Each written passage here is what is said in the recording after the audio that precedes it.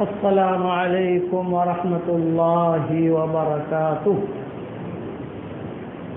بسم الله الرحمن الرحيم.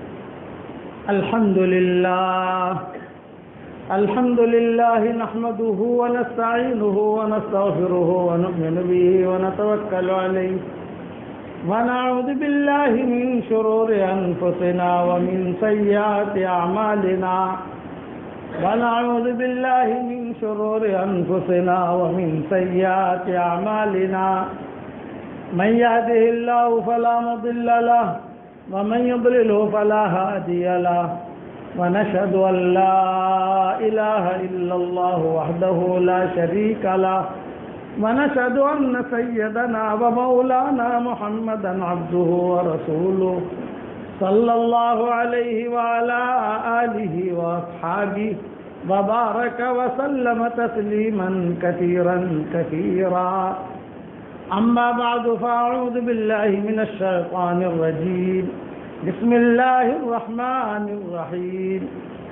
قال قائل منهم لا تقتلوا يوسف وألقوه في غيابة الجب.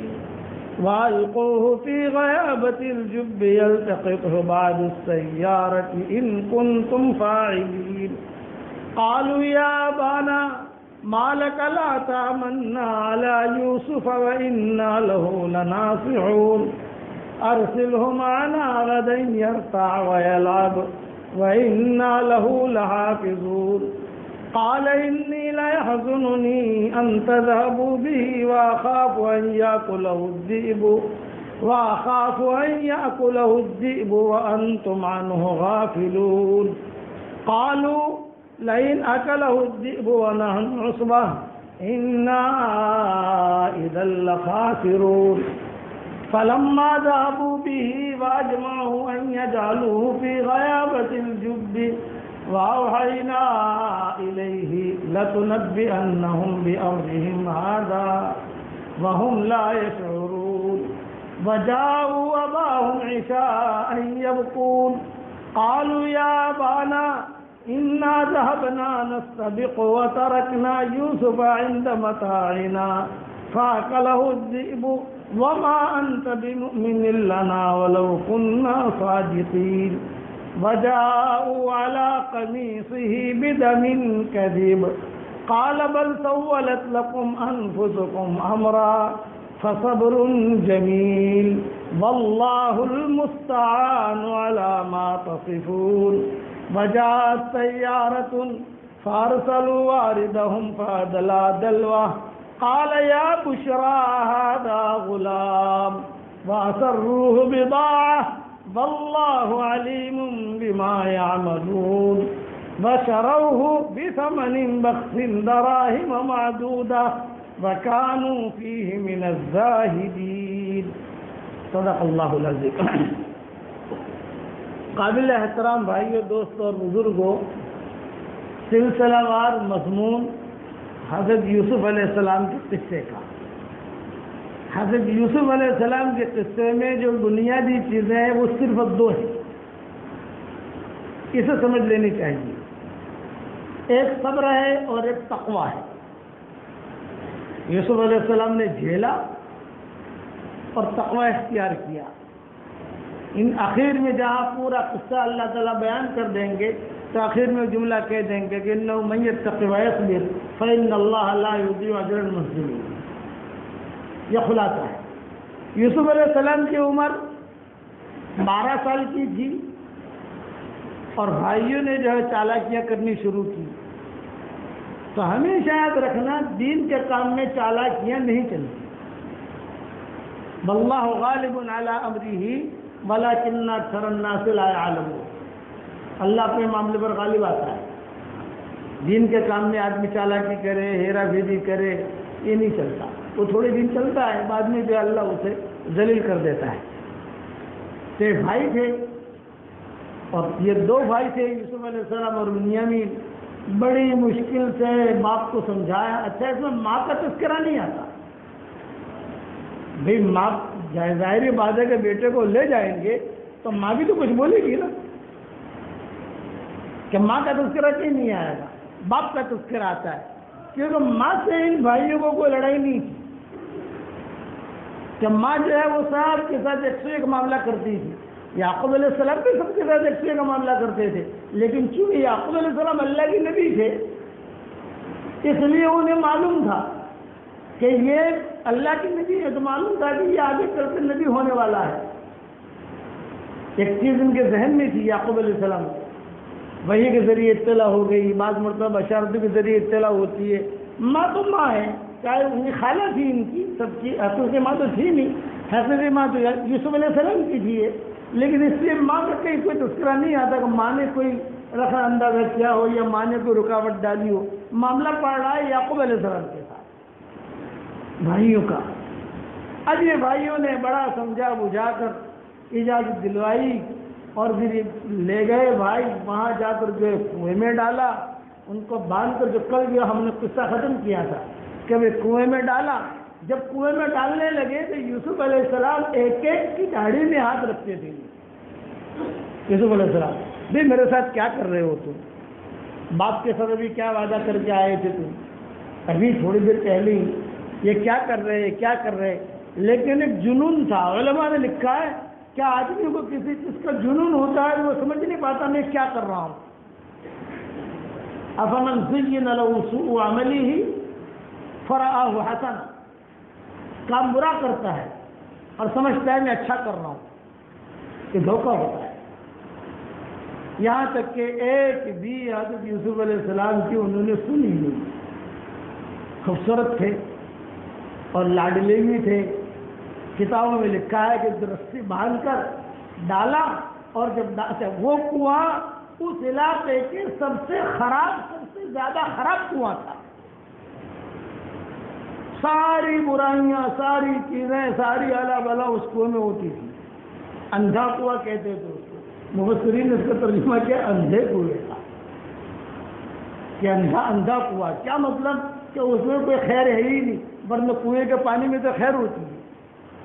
کاجی پانی پیتا ہے، گھر پر پانی لاتا ہے۔ آپ نے دیکھا ہوگا دیہاتوں کے اندر کہ کنویں سے لوگ جو ہے عورتیں پانی لے لے کر آتی ہیں۔ اپنے گھروں پر پانی پیتی ہیں۔ یہ انصاف کنواں تھا کہ اس میں پانی تھا ہی نہیں۔ تو پورے علاقے میں لوگ جو بھی اللہ بلا ہوتی، وہ اس میں ڈال دیتے۔ یہاں تک کہ یہ عورتیں اپنے ایام کے جو کپڑے ہوتے تھے، وہ بھی اسی میں ڈال دیتی، جمع کر کے۔ اس کنویں کو چھاٹا انہوں نے۔ اور یوسف علیہ السلام ویسے بھی خوبصورت، ویسے بھی نازک پری جیسے وہ ڈر گئے کہ کیا کر رہے؟ انہوں نے جو ہے رسی سے ڈال رسی سے باندھا، باندھنے کے بعد جو ڈالا، ایک بھائی تھا اس نے رسی کاٹ دی۔ اور رسی کاٹنے کے بعد کتابوں میں لکھا ہے، سارے مفسرین نے تقریباً لکھا ہے، فوراً حضرت جبری لائے اچھا جب رسی کاٹی تو یہ ایک دم سے یوسف علیہ السلام ہلے۔ ایک آدمی جب گرے گا اوپر سے نیچے، تو فطری چیز ہے کہ آدمی ہلتا ہے۔ اپنے بچانے کا آدمی انتظام کرتا ہے کہ کسی طریقے سے میں بچ جاؤں یہ فطرت ہے انسان کی۔ ایک دم سے ہلے وہاں آ کر حضرت جبریل علیہ السلام نے فوراً جو ہے یوسف علیہ السلام کا ہاتھ پکڑ لیا۔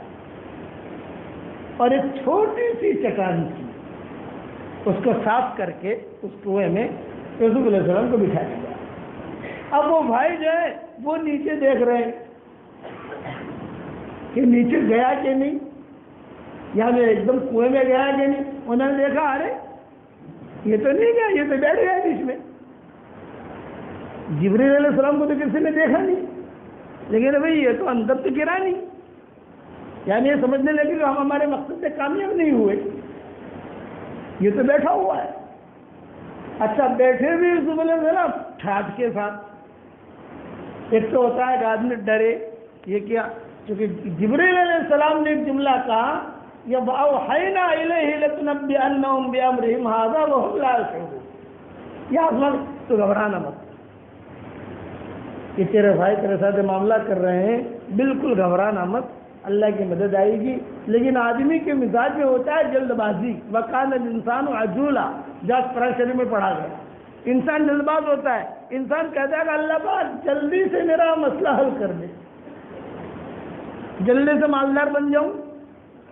جلدی سے صحت مند ہو جاؤں، جلدی سے بیگم مل جائے، جلدی سے شوہر مل جائے، جلدی سے اچھا پارٹنر مل جائے، جلدی سے جو ہے اچھا میرا کام ہو جائے۔ عجولا اس کو کہتے ہیں عجولا کا وقان الانسان عجولا انسان کی فطرت میں رکھی ہے جلد بازی۔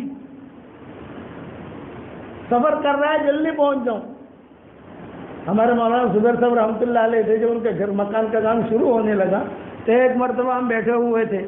تو میں نے کہا کہ حضرت آج ٹینشن میں بیٹھے ہیں، فکر میں بیٹھے ہیں۔ بھائی، یہ دھڑ دھڑ ہو رہی ہے، مجھے نیند نہیں آتی۔ ارے مولوی یوسف، کسی جنات لاؤ یار، اور دو دن میں میرا مکان بن جا جائے یہ مولانا زبیر صاحب نے کہا۔ کہیں سے جنات لاؤ اور دو دن میں میرا مکان بن جائے۔ یہ تو بیت المقدس بن گیا تھا ایسے جلدی اس لیے کہ یہ دھڑ دھڑ مشورے میں جانا، پھر یہ کرنا، وہ کرنا، پھر سے بھی طبیعت میں۔ میں نے کہا وقان انسان عجولا۔ انسان کی فطرت میں اللہ نے رکھا ہے۔ جلد بازی کہ جلدی ہو جائے، جلدی ہو جائے، جلدی ہو جائے۔ اب یہ جبریل جو ہے وہ یعنی تسلی دے رہے ہیں۔ اور یوسف علیہ السلام کو یہ ٹینشن کہ ہوگا کب؟ ابھی تو پھنساؤں گا چنانچہ کتابوں میں لکھا ہے تین دن اور تین رات تک حضرت یوسف علیہ السلام کنویں میں رہے۔ تین دن، تین رات۔ اچھا۔ رات کیسے گزری ہوگی دن کیسے گزرے ہوں گے، ہر وقت میں تو جبریل رہتا نہیں ہے۔ بھائی جبریل علیہ السلام کو جیسا جیسا حکم ملے گا آسمان سے وہ آئیں گے اور آ کر جو بھی ہے ان کے ترتیب کریں گے۔ یہ بھائی جو تھے، یہ واش کرتے رہتے تھے۔ ان کے کہتے تھے کہ مرا کہ نہیں مرا؟ ان کا مقصد یہ تھا کہ مر جائے۔ ان کا مقصد یہ تھا۔ کہ یہ مر جائے، پہلے یہ مر جائے تو معاملہ ختم ہو جائے، گھر سے سارا ساری لڑائی ختم ہو جائے۔ وہ سمجھتے تھے کہ مرنے سے معاملہ ختم ہوتا ہے۔ مرنے سے کسی کا معاملہ ختم نہیں ہوتا، معاملہ اور بگڑتا ہے۔ وہ تو اللہ کے ختم کرنے سے ہوتا ہے۔ چنانچہ روایت میں تین دن، تین رات تک یوسف علیہ السلام رہے۔ لیکن اب بھائیوں نے آپس میں مشورہ کیا، پھر ڈال تو دیا۔ اب نکال تو سکتے نہیں اس کو، اور نکالنا بھی نہیں ہے۔ لیکن ابا کو جا کے کیا کہیں گے؟ گھر تو جانا ہے نا۔ اس کو قرآن بیان کر رہے ہیں۔ وجاؤ اباہم یبکون قرآن کا اسلوب دیکھو۔ وجاؤ اباہم عشاء یبکون رات کے وقت میں یعنی روزانہ ان کا معمول یہ تھا کہ یہ بکریاں وغیرہ چرا کر اثر کے بعد پہنچ جاتے تھے۔ جیسے کوئی کاروبار سے بچہ آتا ہے تو اثر تک پہنچ جاتا ہے، مغرب تک پہنچ جاتا ہے۔ آج رات دیر ہو گئی۔ دیر سے آئے۔ تو وہاں یعقوب علیہ السلام ٹینشن میں گیا بچے نے ایک تاج بھیجا ہے یوسف کو۔ تو یوسف کا انتظار اپنی جگہ، وہ آئے گا پیار کروں گا، بٹھاؤں گا اور یہ کروں گا۔ بھائی آج تو کوئی آیا ہی نہیں۔ یہ سب کہاں گئے یہ سب؟ تو عشاء کے وقت میں جب رات کا اندھیرا ہو گیا تو یعقوب علیہ السلام نے اپنے گھر میں بیٹھے ہوئے تھے، انتظار میں تھے، اپنی بیوی سے پوچھ رہے تھے بھائی بچے آئے ہی نہیں دیر ہو گئی، آج بچے کیوں نہیں آئے؟ کیا وجہ ہے؟ ابھی باتیں ہو رہی ہیں کہ وہاں باہر سے ہو ہا ہو ہا، شور شار، او بھائی وہ مر گیا مر گیا، یہ ہوا۔ یعقوب علیہ السلام نے کہا، کیا ہوا؟ باہر کیا ہو رہا ہے؟ یعقوب علیہ السلام باہر نکلے تو وہ سارے کے سارے بھائی وہاں کھڑے تھے۔ اب یعقوب علیہ السلام کو سب سے زیادہ بھائی تو سب کھڑے ہیں، رو رہے ہیں، لیکن سب سے زیادہ فکر کیا، میرا بیٹا کہاں ہے؟ جب بھی کوئی قافلہ آتا ہے یا کوئی آتا ہے تو آدمی پورے قافلے والوں میں خاص طور سے اس کو ڈھونڈتا ہے، جس سے اس کو خاص تعلق ہوتا ہے۔ بھائی حاجی حج سے آتے ہیں، سارا گروپ آ گیا، لیکن آدمی کیا کہتے میرے ماں باپ کہاں ہے میرے ماں باپ کہاں ہے بھائی سارے یہ حاجی ہیں وہ تو ٹھیک ہے، لیکن میرے ماں باپ کہاں ہے میرا بھائی کہاں ہے؟ میری بیوی کہاں ہے؟ تو یعقوب علیہ السلام مجھے ٹینشن یوسف علیہ السلام کا تھا۔ زندگی میں کبھی الگ کیا نہیں، اب الگ کیا، اب آنے میں دیر ہو گئی، یہ لوگ سارے رو رہے اس کو قرآن کہہ رہا ہے۔ وجاؤ اباہم عشاء یبکون وہ شام کو اپنے والد کے پاس روتے ہوئے آئے سارے بھائی۔ قالو یا بانا انا ذهبنا نستبق وتركنا يوسف عند متاعنا فاكله الذئب وما انت بمؤمن لنا ولو كنا صادقين. یعقوب علیہ السلام نے پوچھا کہ رو کیوں رہے ہو؟ کیا بات ہے؟ یوسف کہاں ہے؟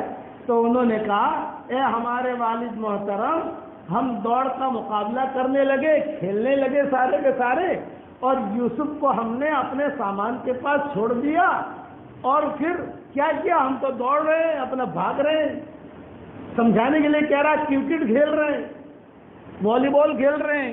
ہم تو سارے کے سارے اپنے کام میں لگے ہوئے ہیں کھیل کود میں۔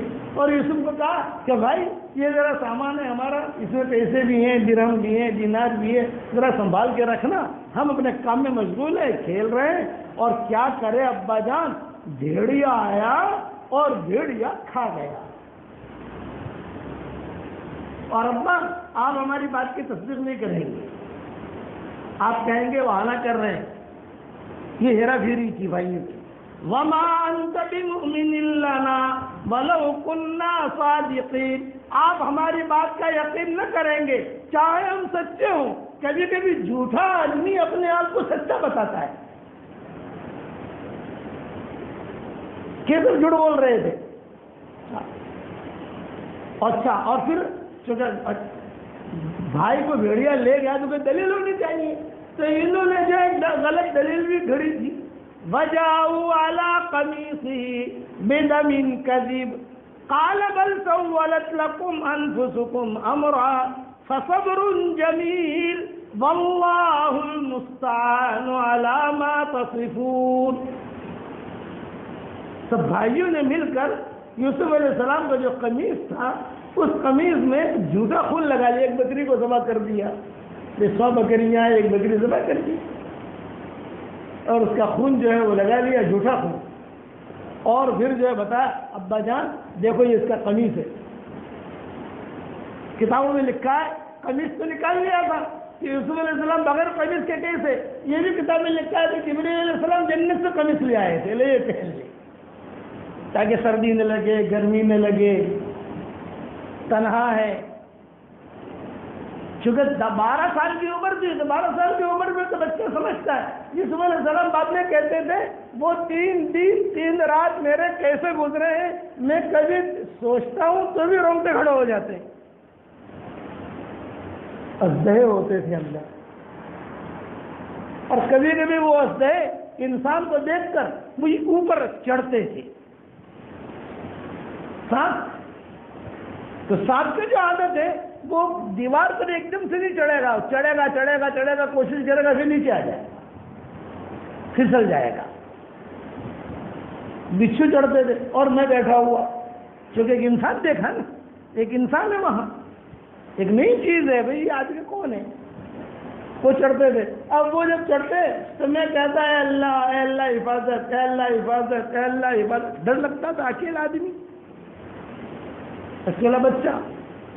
تو کبھی کبھی جب یہ دور گزر گیا اور حالات وہ ہو گئے، تو کبھی کبھار وہ کہتے تھے، یوسف علیہ السلام اپنی نجی مجلسوں میں کہ وہ تین دن، تین رات کھانا تو مل جاتا تھا۔ بعض کتابوں میں بھی لکھا ہے کہ یہودا جو تھا، یہ اس کی طرف بھائی سے ہمدردی تھی، یوسف علیہ السلام سے۔ یہ کبھی کبھی کھانا لے آتا تھا چپکے سے اور ڈال دیتا تھا چلے یہ کھا لے۔ مثال دے رہا ہوں، سینڈوچ ڈال دیا۔ سیب ڈال دیا۔ اچھا جب وہ ڈالتا تھا تو کبھی یوسف علیہ السلام کے ہاتھ میں اور کبھی کنویں میں۔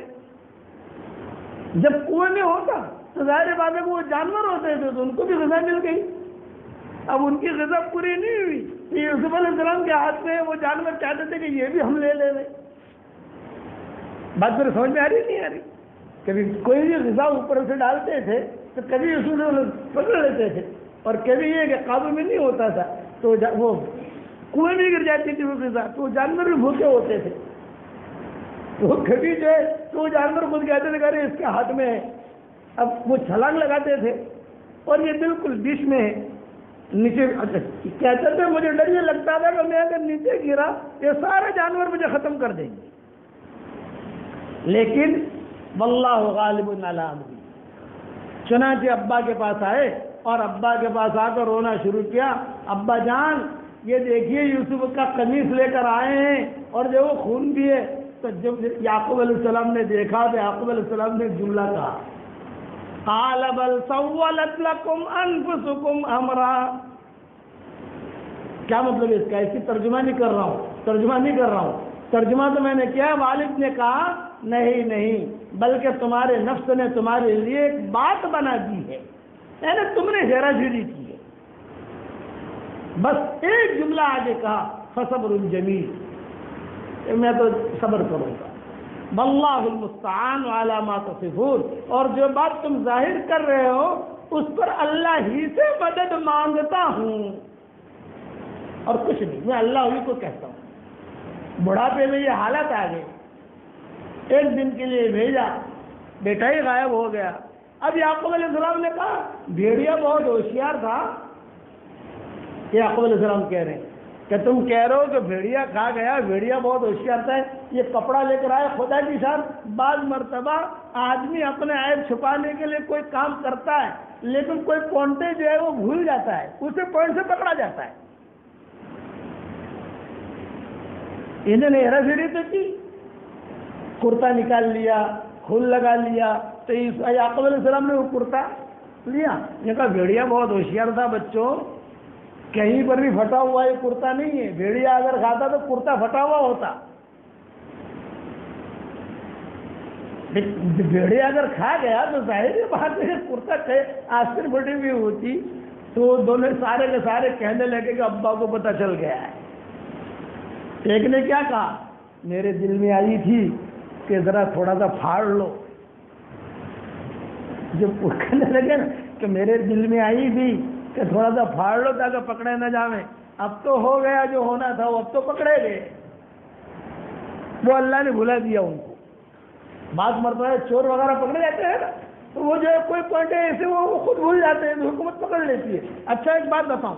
صبر جمیل کا کیا مطلب ہے؟ صبر جمیل کا مطلب یہ ہے ایک اچھا صبر۔ اس کا مطلب یہ ہے کہ آدمی کسی سے اس کا تذکرہ زیادہ نہ کرے۔ آ گیا جی ایک۔ دوسرا، اس پر واویلا نہ کرے۔ اللہ تعالیٰ سے کہے گا اللہ تو نے دیا ہے، میں خوش ہوں۔ حدیث شریف میں آتا ہے ادا بجہ تو یہ حدیث سننا۔ ادا بجہ تو الا عبد من عبیدی مصیبتن فی بدنی او فی جسدی او فی مالی۔ او فی آلی فاستقبلها بصبر جمیل، یہ جملہ ہے۔ اونچا صبر اس کو کہتے ہیں۔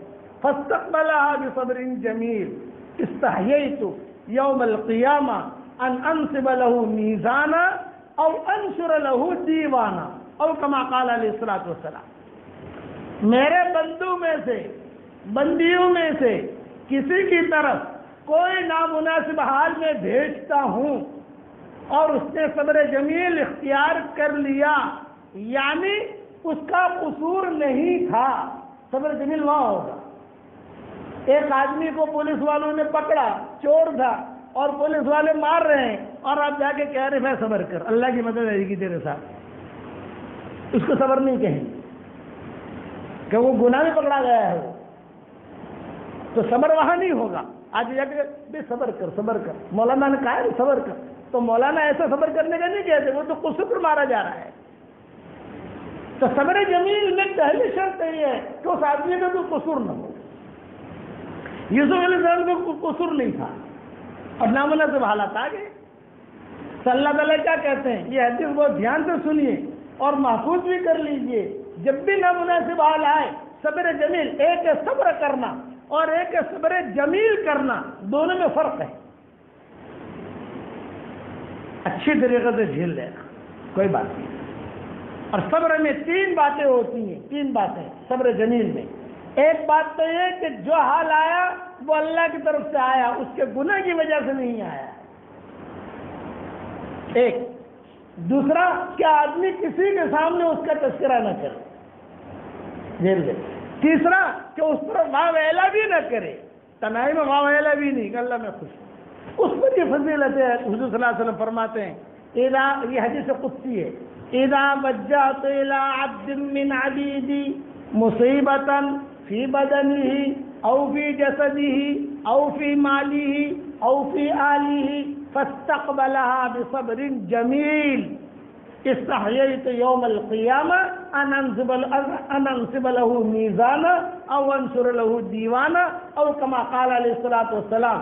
میرے بندوں میں سے کسی بندے کی طرف اگر کوئی میں نامناسب حال بھیجتا ہوں اور وہ اس کو صبر جمیل سے برداشت کر لیتا ہے، تو اللہ تعالیٰ فرماتے ہیں، حشر کے میدان میں مجھے شرم آئے گی کہ میں اس کا کوئی دفتر کھولوں یا نامہ اعمال دیکھوں یعنی بغیر حساب کتاب کے اس کو جنت میں داخل کر دوں گا۔ یہ حدیث ہے۔ اور اس کے اس کے مقابلے میں قرآن کی آیت، انما یوفى الصابرون اجرهم بغیر حساب یہ قرآن میں کہا۔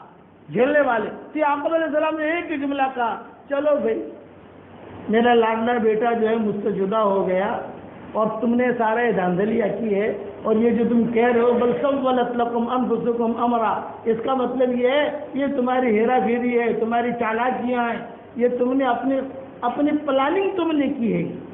میں تو جھیل لیتا ہوں، کوئی بات نہیں۔ اللہ تعالیٰ میری مدد کرے گا۔ اب باپ نے جو آنکھیں بھیڑ لی یوسف علیہ السلام تو ملے نہیں۔ اچھا ہے، بالکل ہے، قریب میں۔ خدا کی شان، مصر سے جب یعنی چلا تو وہاں سے پتہ چل گیا کہ یوسف آ رہا ہے، یوسف آ رہا ہے، یوسف کے یہاں گاؤں کے قریب میں پڑے، رکھے ہوئے، پڑے ہوئے۔ ہیں تو پتہ ہی نہیں کہاں ہے۔ نہ آسمان سے وہی آئی کہ یہ کنویں میں ہے۔ نہیں، اللہ کا ایک نظام تھا۔ اب بھائیوں نے آپس میں مشورہ کرنا شروع کیا کہ بھائی چوپ تو ہو گئی ہے، پکڑ میں بھی آ گئے ہیں۔ ابا کو پتہ بھی چل گیا ہے، ماں کو بھی پتہ چل گیا ہے۔ سب کچھ ہوا ہے کہ ہم نے گڑبڑ کی ہے کو چکر چلانے نکال لینے آپ سمجھ گئے نا؟ یہ نکال کر لانے لیکن اب ایک نے کہا، نکال کے جیسے لاؤ گے تم نے کہا ہے کہ بھیڑیا کھا گیا۔ تو مرا ہوا کیسے زندہ ہوتا ہے؟ میری بات سمجھ میں آ رہی نہیں آ رہی؟ بھائی تم نے تو کہا ہے، بھیڑیا کھا گئے یہ زبان ہی دی ہے چلو، رہنے دو اسی کوئی بات نہیں۔ اب یہ لوگ جو ہے، بہت بہت رکھتے تھے۔ خدا کا کرنا ایسا ہوا۔ وجہ تیارت فارسلوا واردهم فادلا دلوا قال يا بشرى هذا غلام واسروه بضاعة. والله عليم بما يعملون. سبحان تیری قدرت. عرش سے ہی اللہ تعالیٰ کہہ رہے ہیں اس بات کو. اچانک ایسا ہوا کہ قافلہ، یہ بہت بڑا قافلہ تھا، یہ گزر رہا تھا۔ تو ان کو پانی کی ضرورت لگی۔ تو قافلے میں ایک ایک ایک روایت یہ بھی ہے کہ بشرا جو ہے وہ اس قافلے کے چودھری کا نام تھا، جو بڑا تھا۔ اور ایک یہ کہ بھائی جو ہے وہ بشارت سے اس کا تعلق ہے۔ وہ قافلے والوں نے آپ سے مشورہ کیا بھائی ہم قریب سے گزر رہے ہیں یہاں سے، ہمیں پانی کی ضرورت ہے۔ تو ذرا دیکھو، دائیں بائیں جا کر کہیں سے پانی وغیرہ لے کر آؤ، کہیں سے۔ تو کچھ لوگ جو ہے کچھ لوگ۔ وہ اس کنویں پر آئے۔ اب جو اس کنویں پر آئے، تو اس کنویں پر آتے ہی انہوں نے جو ہے آپس میں باتیں کرنی شروع کی۔ ظاہری بات ہے، باتیں کریں گے ڈول ڈالیں گے، یہ کریں گے، وہ کر کے یوسف علیہ السلام نے سن لیا تو کچھ لوگ آئے ہیں۔ تو یوسف علیہ السلام ہی اوپر دیکھنے لگے۔ یہ کون ہے؟ کیسے آئے ہیں یہ لوگ؟ کیا ہے؟ انہوں نے ڈول ڈالی۔ انہوں نے کنویں میں نہیں دیکھا۔ انہوں نے ایسے ڈول ڈالی، ڈول ڈال کے پانی لے آئیں گے۔ اب وہ جو ڈول ڈالی، تو یوسف علیہ السلام ڈول پکڑی اور ڈول میں بیٹھ گئے۔ وہ یہ سمجھ رہے ہیں پانی آ رہا ہے۔ یعنی جب وہ ڈول ہلنے لگی، وہ ڈول تو وہ سمجھ لگے پانی بھر گیا۔ اب وہ جو ہے ڈول کھینچ رہے ہیں کہ پانی اور لوگوں کو کہہ بھی رہے گا ہاں بھائی ہاں بھائی پانی ملے گئی ہو پانی ملے گئی اس کے بعد تو ہوتا ہے نا، ملے گئی ہو پانی ملے گئی ہو لیکن پانی کے بغیر زندہ کیسے رہیں گے؟ یعنی چوپاؤں کو پانی کی ضرورت ہے، ان کو پانی کی ضرورت ہے، یہ سب۔ بھائی جو ہے وہ کھڑے کھڑے دیکھ رہے تھے کتابوں میں لکھا ہے، اثر کے بعد کا یہ وقت تھا۔ یعنی بھائی کی واپسی کیا وقت تھا؟ بھائیوں نے کہا بھائی، ٹھہرو، کچھ ہو رہا ہے وہاں، وہ لوگ کھڑے ہیں۔ اور یہ لوگ جو ہے وہ ڈول ڈال رہے ہیں۔ تو اگر زندہ ہوگا تو بیٹھ جائے گا۔ چنانچہ یوسف علیہ السلام بیٹھ گئے۔ قافلے والے تھے سارے قافلے والے نہیں تھے۔ یہ کچھ ہی لوگ تھے۔ قافلہ تو دور ٹھہرا ہوا تھا۔ اور انہوں نے جو ہے وہ جب ڈول بھاری ہوا، وزنی ہوا تو یہ سمجھ گئے کہ پانی مل گیا۔ اب انہوں نے کھینچنا شروع کیا۔ یوسف علیہ السلام نے کہا، یوسف علیہ السلام کہتے ہیں کہ میں بھی کہتا تھا کہ اللہ میری جان بچی۔ بھائی جبریل تو آتے ہیں، کھانا بھی لاتے ہیں، کھانا بھی مل جاتا ہے، سب کچھ اپنی جگہ ہے۔ لیکن ٹینشن بھی تو اپنی جگہ ہے نا بھائی؟ ٹینشن تو آدمی کو ہوتا ہے۔ چنانچہ یوسف علیہ السلام، اب جب باہر نکالا تو یوسف علیہ السلام نے چھلانگ لگا کر کنویں کے باہر کھڑے ہو گئے۔ انہوں نے دیکھا قابلے والوں نے او ہو ہو ہو ہو، یہ کیا؟ زور سے کہا، یا بشرا ہادا غلام، یا بشرا ہادا غلام. جب انہوں نے زور سے کہا تو بھائی آگے، بھاگے بھاگے۔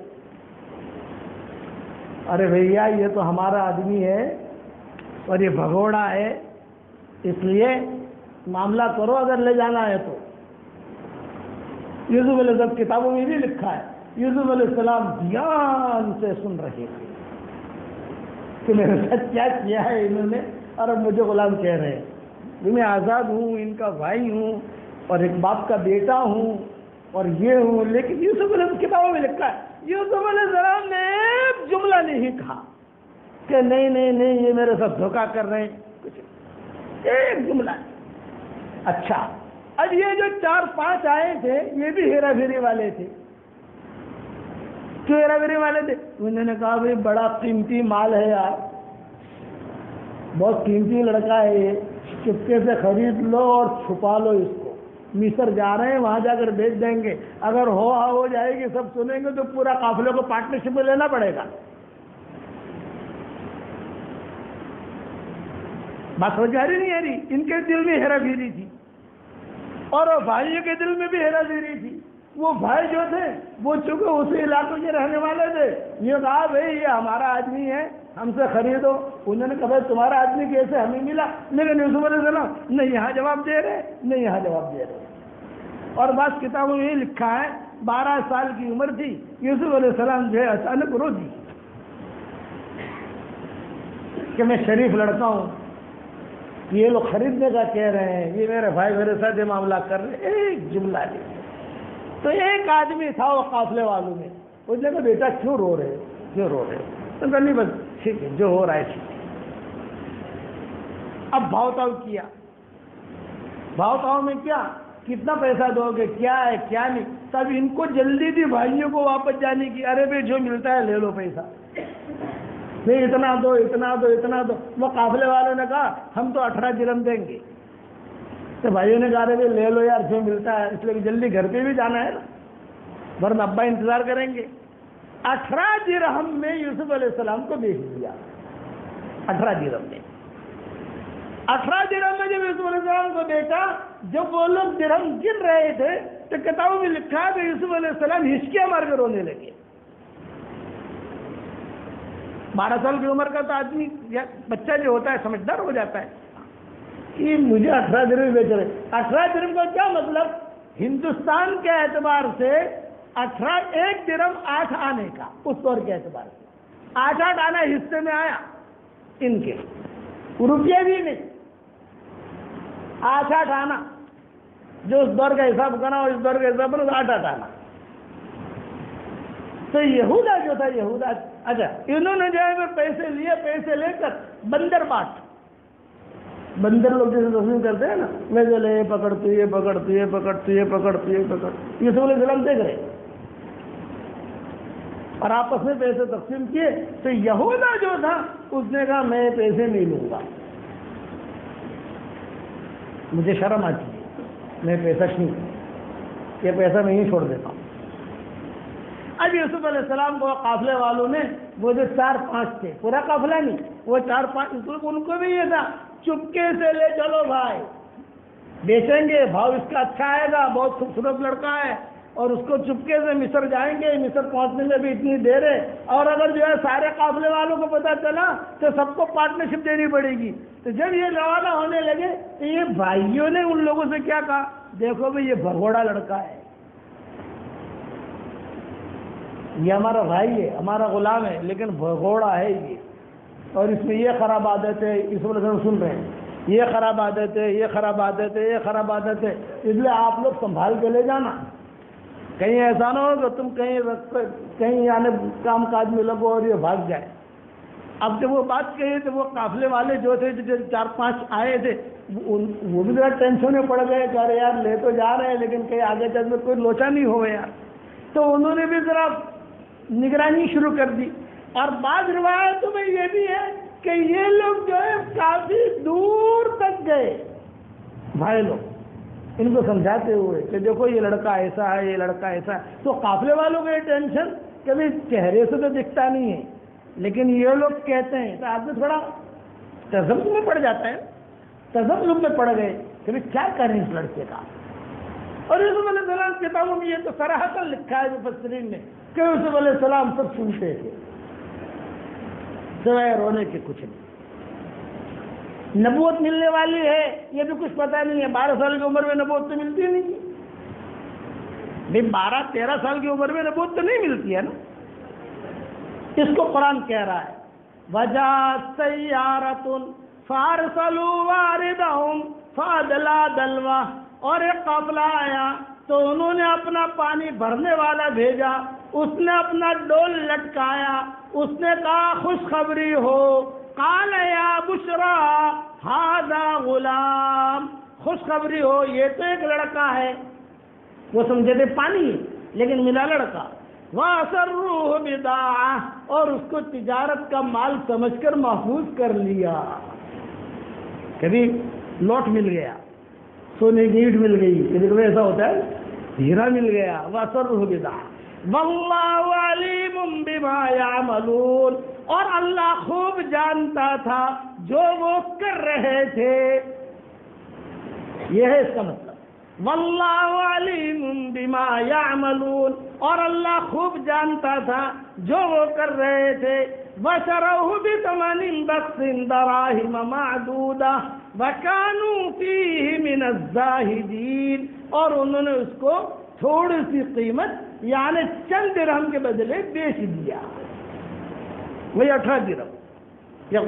قرآن نے وضاحت کی کہ کتنے درہم۔ یہ بہت مختصر قیمت میں بھائیوں نے یہ کہہ کر کے ہمارا نہیں ہوگا جو جو پیسہ ہاتھ لگے۔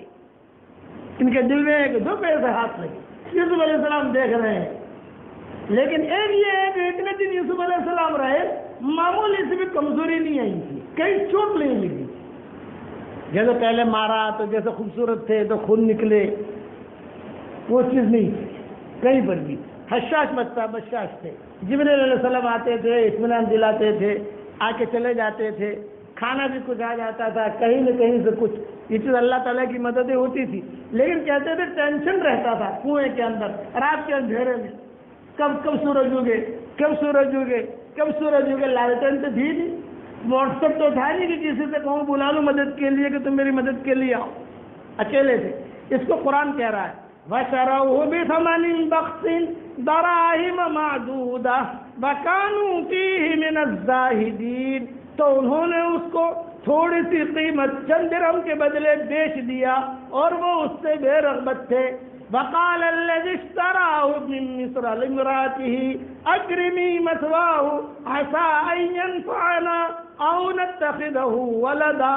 وكذلك مكنا ليوسف في الأرض بل نعلمه من تأويل الأحاديث. والله غالب على أمره ولكن أكثر الناس لا يعلمون. اچھا اب یہ بھائی لوگ تو گھر پر آ گئے۔ پیسے لے کر اٹھارہ درم آٹھا دانا، جو تھا وہ۔ یعقوب علیہ السلام، خاموش ہیں، بول نہیں رہے ہیں۔ گھر کا ان کا جو ماحول ہے وہ چل رہا ہے۔ یاد تو کر رہے تھے یعقوب علیہ السلام، یوسف علیہ السلام کو۔ اور یہ قافلہ لے کر مصر پہنچا۔ اب جب مصر پہنچا تو وہ جو چار پانچ تھے، انہوں نے چھپا کے رکھا تھا یوسف علیہ السلام کو۔ کتابوں میں لکھا ہے مصر پہنچتے پہنچتے کچھ دن تو لگے ہوں گے۔ تو یہ تو ہے نہیں کہ فلائٹ میں بیٹھو اور تین گھنٹے میں وہاں پہنچ جاؤ۔ آہستہ آہستہ قافلہ چلتا ہے۔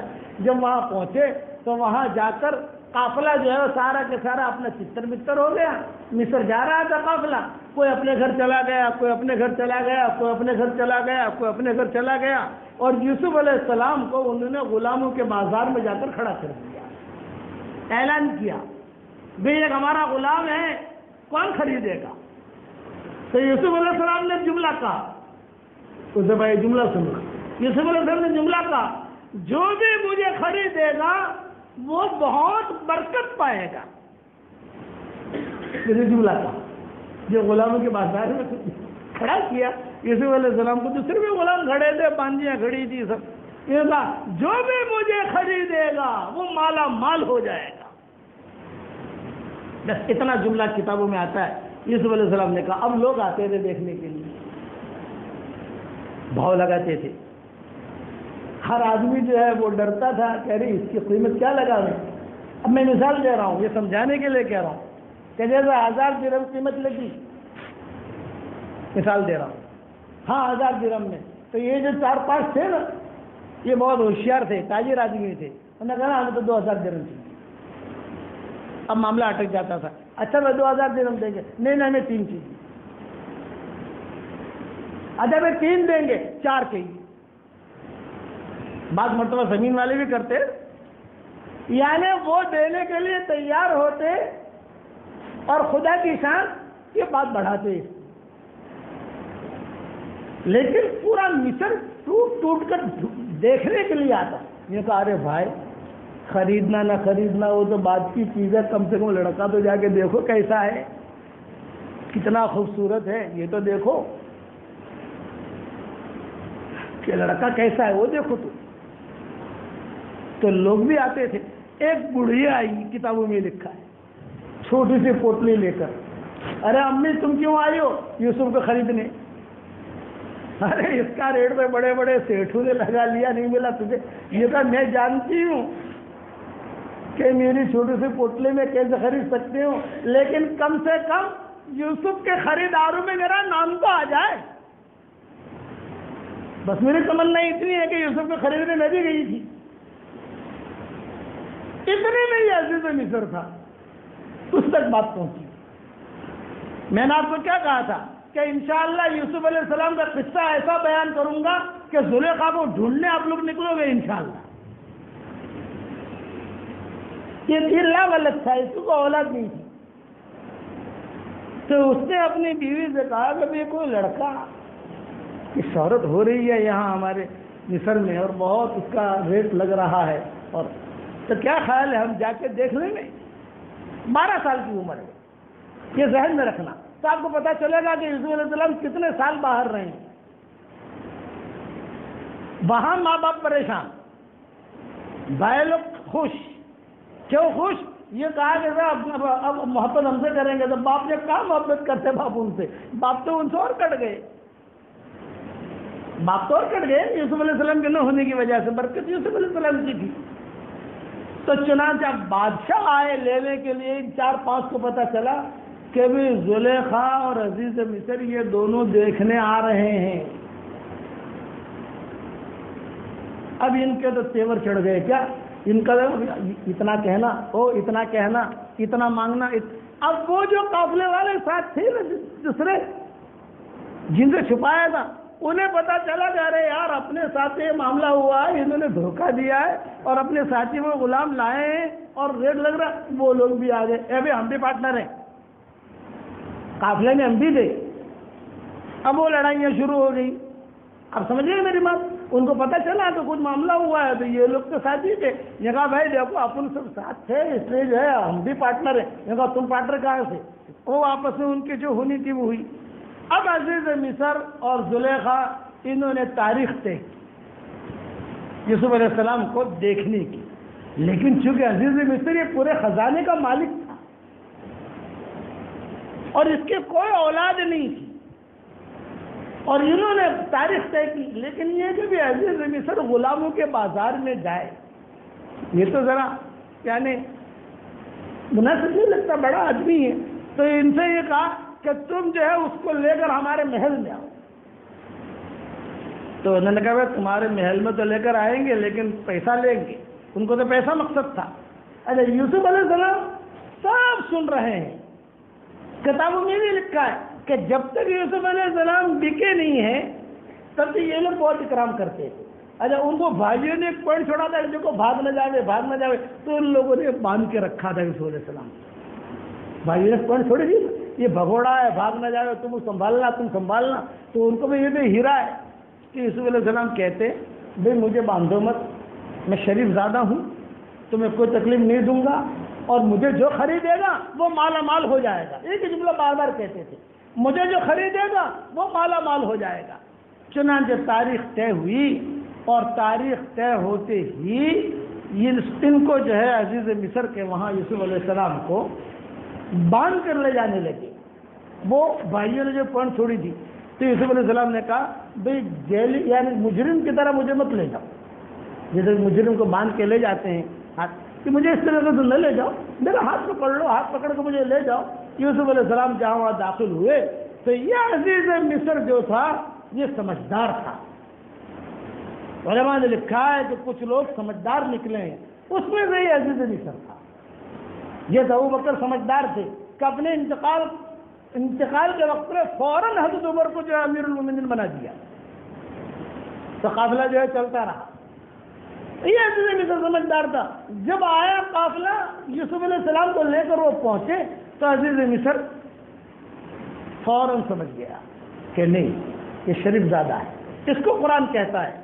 وقال الذي اشتراه من مصر لامراته اكرمي مثواه، عسى ان ينفعنا او نتخذه ولدا، وكذلك مكنا ليوسف في الارض بل نعلمه من تاويل الاحاديث والله غالب على امره ولكن اكثر الناس لا يعلمون ولما بلغ شده آتيناه حكما وعلما وكذلك نجزي المحسنين کتابوں میں یہ بھی لکھا ہے کہ جب یوسف علیہ السلام محل میں پہنچے تو یہ تو سیٹھیے تھے سارے چار پانچ کو تو سمجھ رہے تھے، ہمارا مال ہے، ہمارا مال ہے، ہمارا مال ہے۔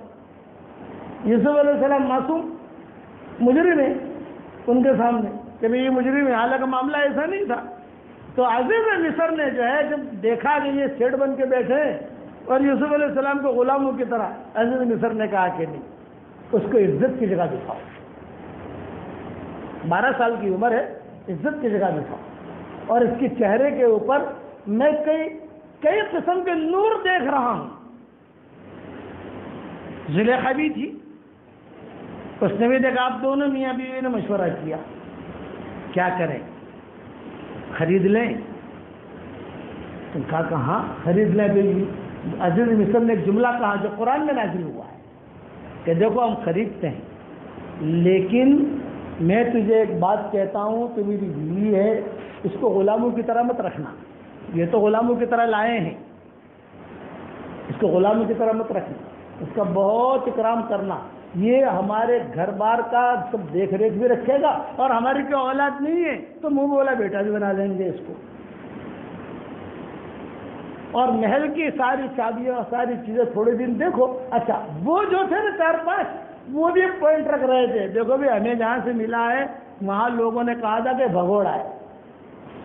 کہ تم ذرا خیال رکھنا۔ تو عزیز مصر نے کہا، بھی چہرے سے تو بھگوڑا دکھتا نہیں ہے، لیکن یہ کہ تھوڑے دن امتحان لیں گے، دیکھیں گے۔ تو یہ دونوں میاں بھی یہ باتیں کر رہے ہیں کہ دیکھو، اب ہم خرید تو رہے ہیں، لیکن یہ کہ اس کو غلام کی طرح جیسے نوکروں کی طرح رکھتے ہیں، کرتے ہیں، کرنا۔ یہ سیٹ کی طرح رہے گا یہاں۔ باقی تفصیل کل انشاءاللہ پوری کریں گے۔ چلو، آج پڑھ لو میرے ساتھ۔ اللہ تربنا فرزقنا الاستقامہ۔ اے اللہ، آپ ہمارے رب ہیں۔ ہمیں استقامت دیجیے۔ اس لیے کہ مغفرت کا اشرا شروع ہو گیا۔ اب اللہ سے استقامت مانگو۔ توفیق بھی اللہ کی طرف سے ملتی ہے۔ توفیق یہ وقتی ہوتی ہے۔ وقت نماز پڑھنے کی توفیق مل گئی، وقت قرآن پڑھنے کی توفیق مل گئی۔ اور استقامت یہ ہمیشہ کے لیے ہوتی ہے۔ اس سے یہ دعا پڑھوائی گئی کہ اللہ ہمارے رب ہیں، ہمیں توفیق بھی دے اور ہمیں استقامت بھی دے۔ سمجھ گئے بھائی؟ مانگو گے انشاءاللہ۔ اب مسئلے بیان کر لو آپ کے۔ یہ یوسف علیہ السلام کا قصہ کہاں تک پہنچا ہے؟ فراوت پولیس ٹھیک ہے۔ ابھی ابھی خرید رہے ہیں۔ کتنے میں خرید رہے ہیں؟ کیسے؟ ان کا ایگریمنٹ کیسا ہوتا ہے؟ دیکھو، اس زمانے میں ایگریمنٹ کیسا ہوتا تھا؟ ہمارا رجسٹر ہوتا ہے نا رجسٹر تو اس زمانے میں بھی رجسٹر ہوتا تھا۔ وہ کل بیان کروں گا انشاءاللہ۔ یہ دیکھو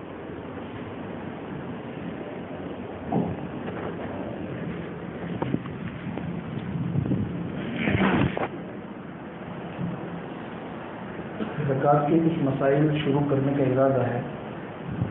یہ سمجھ لیجیے کہ بنیادی طور پر دو طرح کی عبادتیں ہوتی ہیں۔ ایک بدنی عبادت ہوتی ہے اور ایک مالی عبادت ہوتی ہے۔ یعنی ایک انسان کا مال ہوتا ہے اور دوسرا انسان کی جان ہوتی ہے۔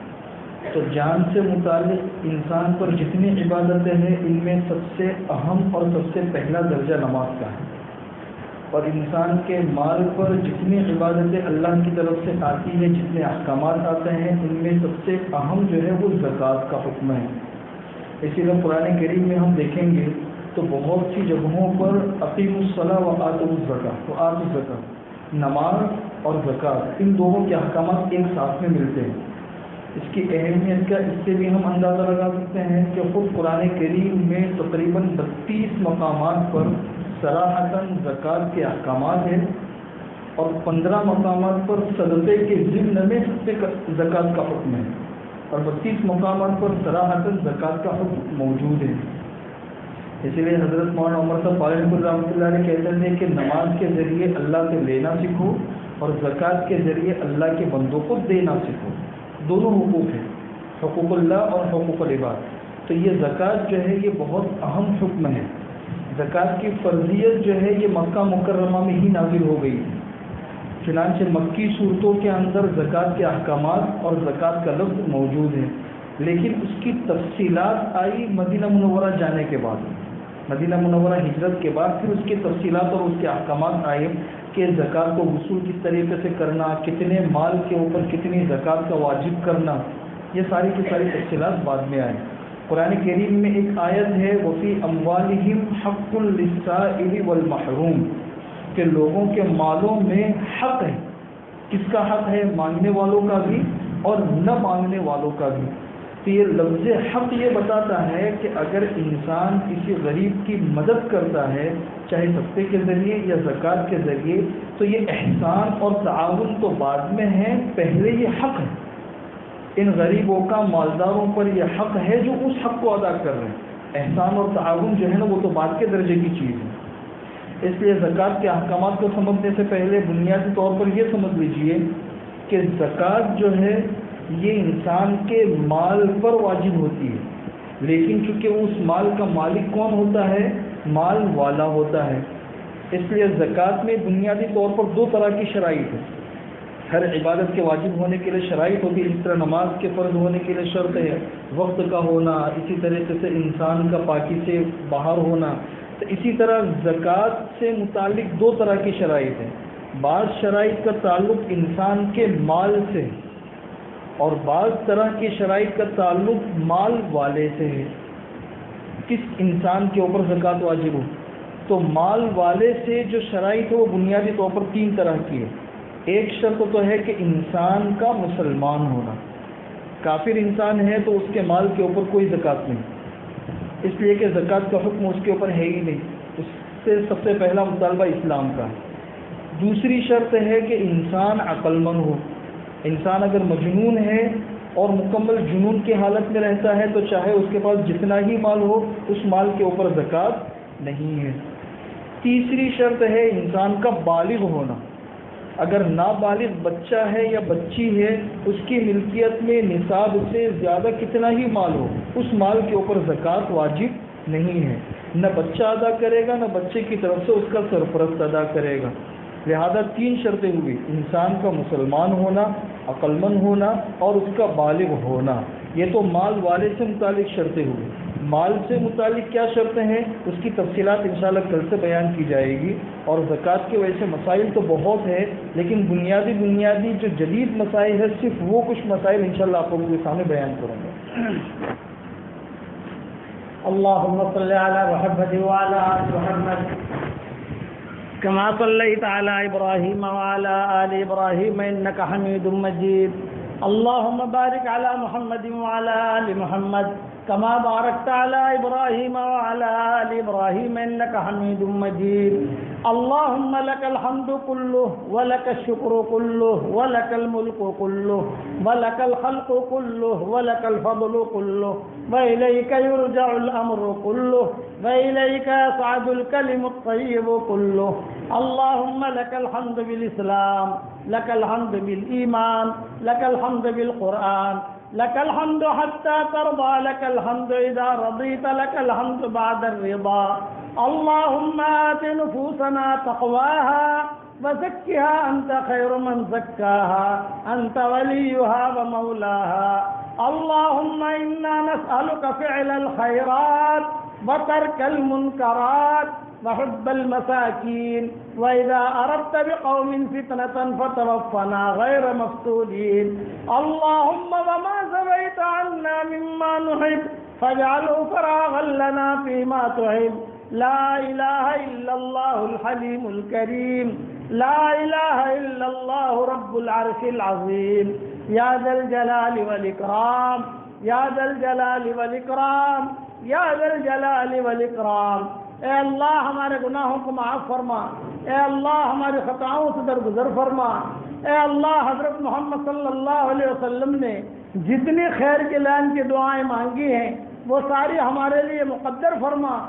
اور جن شرور سے پناہ چاہیے، ان شرور سے عافیت سے تو ہماری حفاظت فرما۔